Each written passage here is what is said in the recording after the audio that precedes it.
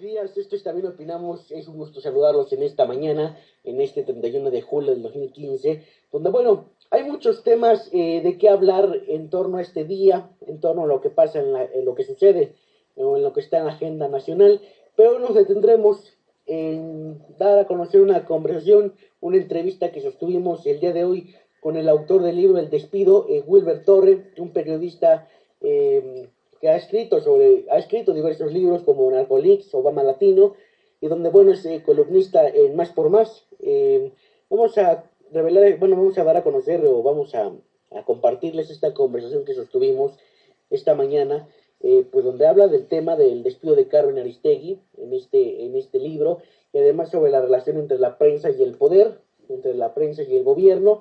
Un libro bastante interesante por los datos, por la crónica, por la entrevista, por el ensayo eh, que se puede encontrar en este libro. Y bueno, pues bastante, bastante bueno, diría yo. Entonces vamos a, pues, a, dar a conocer la entrevista, vamos a, a, compartirla con nuestro auditorio.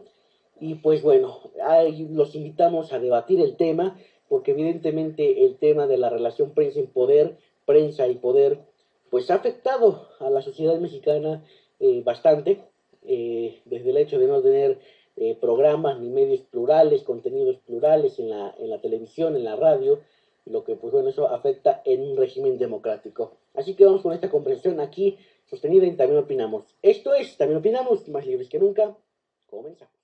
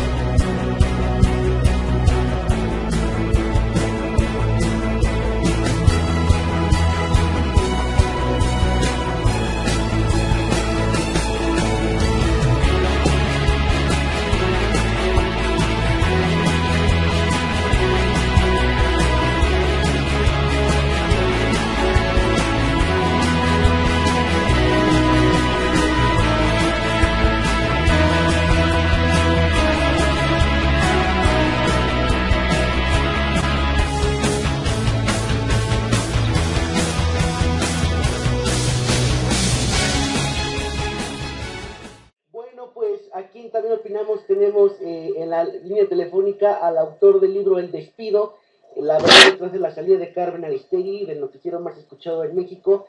Wilber Torre, y le agradezco que esté con nosotros vía telefónica. Eh, gracias por estar aquí, Wilber Torre. Buenos días. Gracias, buenos días a ti y a tu auditorio. Mucho gusto aquí para conversar sobre el libro.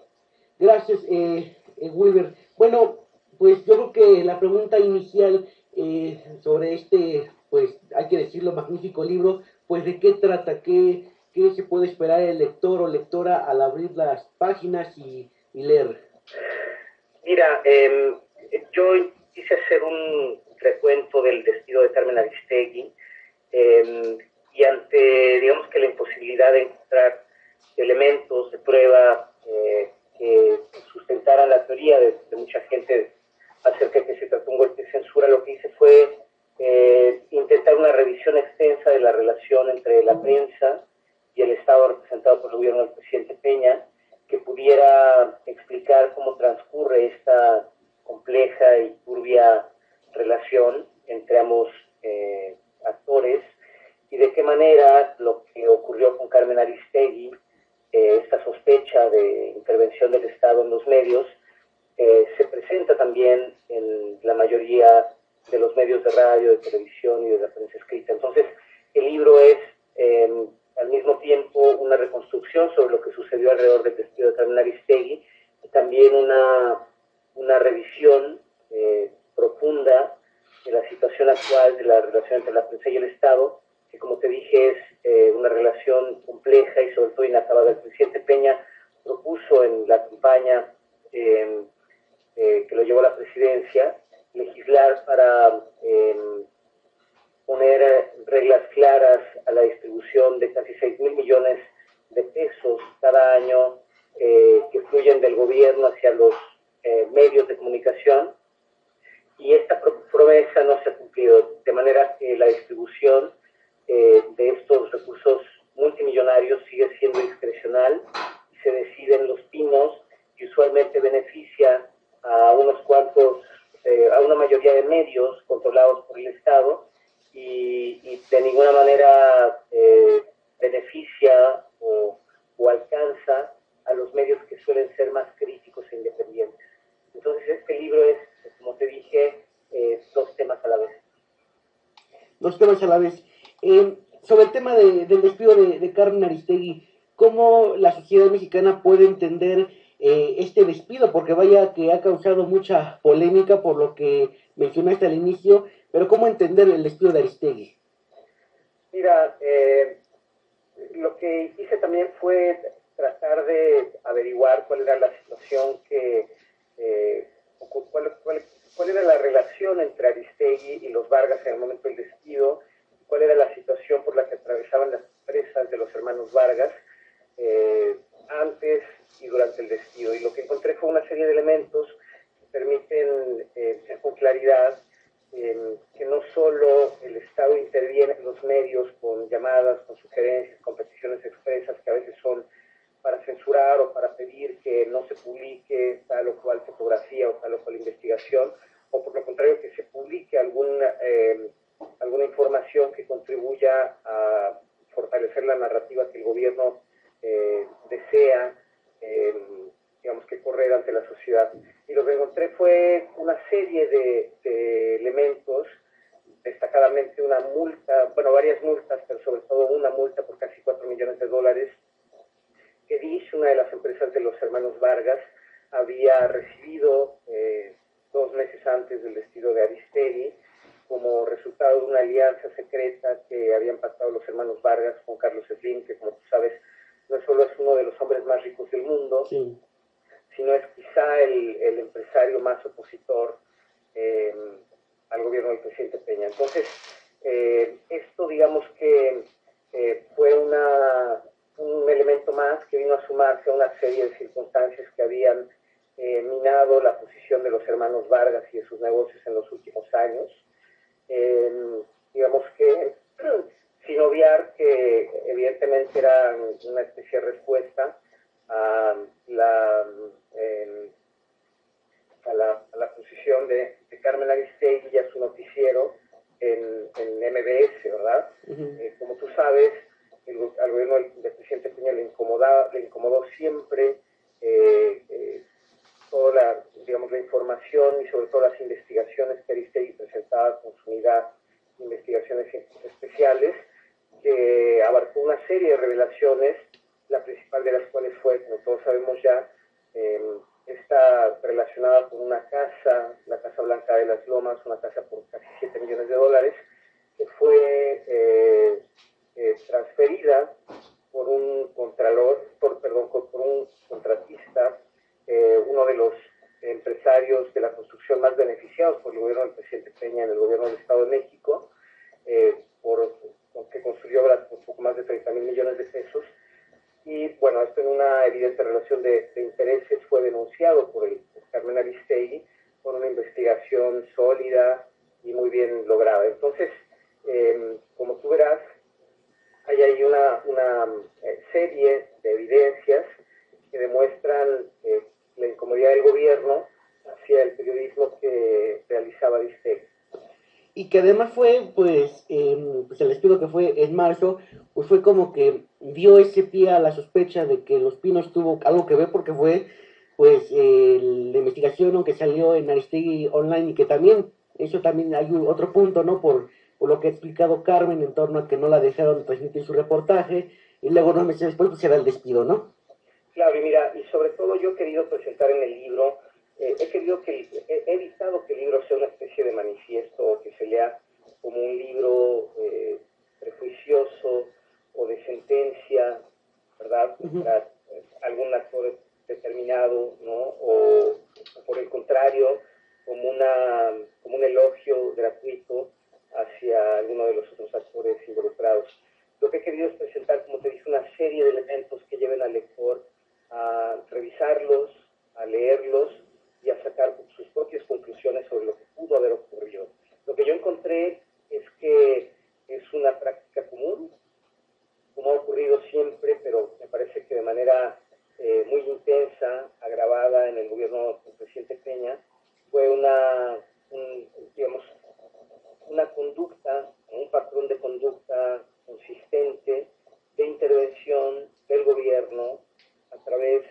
operadores de prensa en los medios de comunicación. Eh, ahí relato quienes forman este conjunto de estrategas en comunicación del presidente Peña, eh, antes con David López, que fue coordinador del presidente, a quien conoció 10 años atrás, 15 años atrás, en el Estado de México. Eh, él operaba toda esta relación junto con eh, un par de, estrategas eh, más jóvenes, Aurelio Nuño, que es el jefe de la oficina de la presidencia, quien tiene una influencia notable y estratégica con los directivos y los propietarios de los medios de comunicación. Y Eduardo Sánchez, que releva a David López de la Coordinación de Comunicación Social. todos ellos dan foro a una operación que prácticamente ocurre todos los días, eh, de los turnos hacia los medios que consiste en llamar, en reunirse con los directivos, con los propietarios de los medios, eh, para, como yo te decía, eh, censurar o exigir o pedir que no se publique o que se publique cierta información que pudiera consolidar la narrativa del gobierno. Entonces, al, al presentar toda esta serie de, evidencias documentadas además con declaraciones de directivos de los medios de comunicación. Eh, yo presento un, extenso panorama de cuál es la relación actual del gobierno del presidente Peña con la prensa, eh, de manera que esto pudiera servir como un, como un em, escenario amplio de lo que ocurre todos los días con la mayoría de medios y lo que pudo ocurrir ¿verdad? Con eh, Carmen Aristegui. Es decir, si esto ocurre con los medios más controlados por el gobierno, pues imagínate la incomodidad y la urgencia por eh, intervenir en los medios más críticos e independientes como, el que dirigía Carmen Aristegui en MBS. Eh, Wilber, Wilber Torre, em, es interesante este tema de la relación prensa y, poder prensa y, y, el gobierno. Una pregunta que yo creo que mucha gente se hace, sobre todo la, la gente que es eh, admiradora, que sigue a Carmen Aristegui, con este, porque sí hay un capítulo bastante amplio donde detallas todo esto, eh, se llama eh, El presidente de la prensa, y, es interesante lo que hay menciona en ese capítulo. Entonces, con, lo que no, con lo que viene en el libro y con lo que pues uno sabe, ¿crees que en este sexenio pudiera regresar Aristegui al aire en la radio o, o no tendrá esperanza? Mira, no lo sé, lo, lo que yo creo es que la voz de Carmen Aristegui, si estoy de acuerdo o no, si estoy de acuerdo con ella, es una voz necesaria en eh, la democracia mexicana y en un concierto de medios que debería ser eh, cada vez más plural. Em, creo que no digo nada que, sea un secreto que, o, que sea, o que no sea conocido, si digo que hay un conjunto de medios, de periódicos, de televisoras y de radiodifusoras en donde es muy evidente la intervención del Estado en sus líneas editoriales. Eh, yo tengo poco más de 20 años eh, haciendo periodismo en México y eh, fui reportero suplente con Carlos Salinas, fui reportero titular en la presidencia de Ernesto Cedillo, cubrí la campaña de la Bastilla después de Vicente Fox reportero en el periódico Reforma de la Fuente de la Presidencia con el presidente Vicente Fox, y nunca había visto yo eh, una cantidad tan, tan importante de articulistas, de directivos de medios, de columnistas, alineada con el gobierno en turno, como, es, como sucede con el gobierno del presidente Peña. Entonces, eh, yo creo que es muy importante tener en cuenta la importancia de, que en los medios haya pluralidad y de que haya respeto y tolerancia por parte del gobierno a las voces disonantes como la que representaba, la que sigue representando Carmen Aristegui. Si volverá Carmen Aristegui o no a alguna estación de radio depende de muchas circunstancias, eh, entre las más importantes que el gobierno entienda y respete lo que eh, en la Constitución está previsto como eh, una condición irrenunciable del título de concesión de cualquier concesión de radio y televisión a la libertad de expresión. Es decir, no estamos hablando de una concesión gratuita del gobierno hacia eh, una periodista determinada o un periodista, un periodista en específico. Estamos hablando de, em,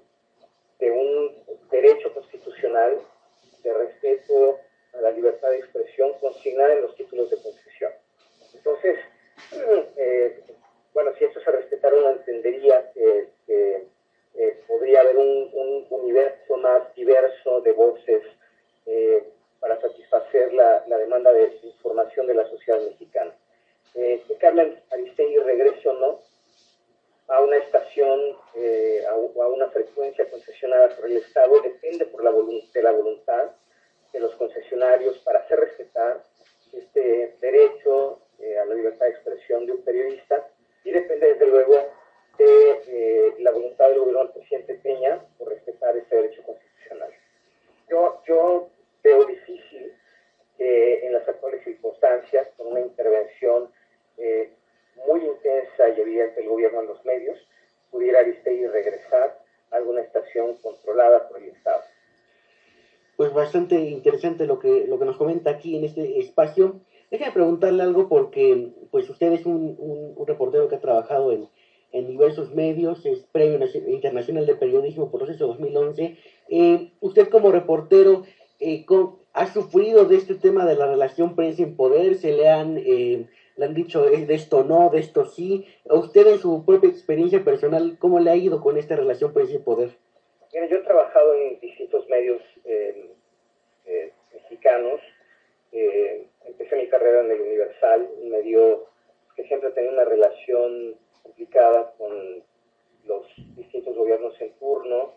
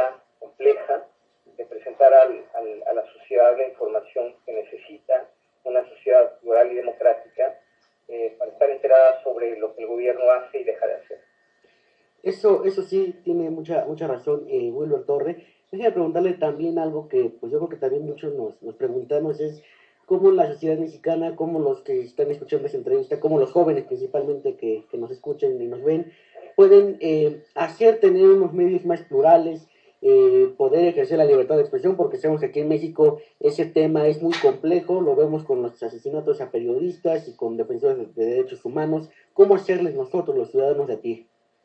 Mira, yo creo que consiste específicamente en una eh, tarea de, mayor conciencia y de educación y también de construcción cultural sobre lo que la sociedad debe exigir eh, de manera conjunta al gobierno.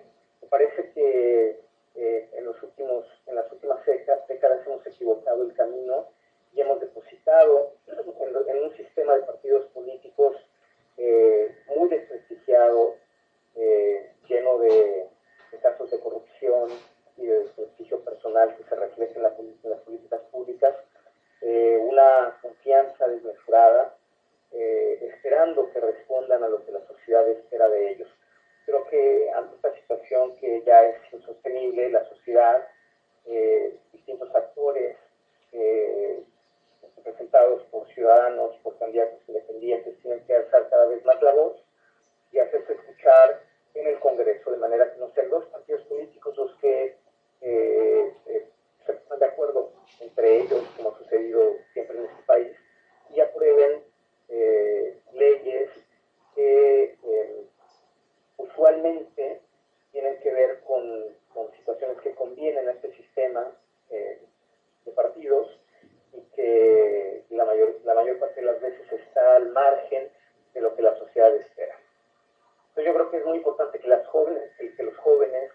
generaciones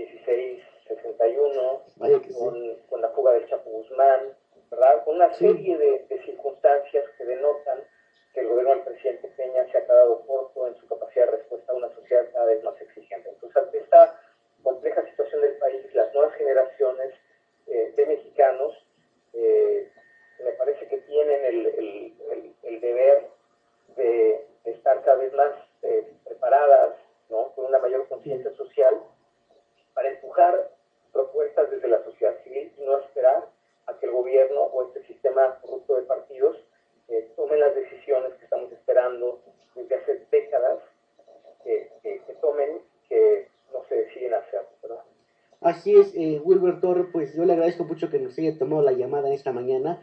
Y pues bueno, eh, más la, la, pregunta yo creo que eh, evidente es, pues, pues que nos invite a, a, los lectores a comprar el libro, a leerlo y bueno, pues a, debatirlo, a, cuestionarlo y pues a tomar su, su, postura, ¿no? Es lo... yo, yo, los invito, creo que hay una, un esfuerzo muy importante por parte de la editorial, es Planeta. Eh, el libro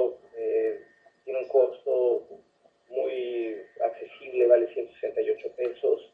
Eh, así se acordó para eh, ponerlo al alcance de la mayor parte de, la gente, ¿verdad? Y creo que es un libro eh, necesario que cada vez resulta más importante que la gente esté informada sobre cómo transcurren estas, estas situaciones que, que, tienen que ver con las políticas públicas y con el ejercicio de gobierno y que cada vez parecen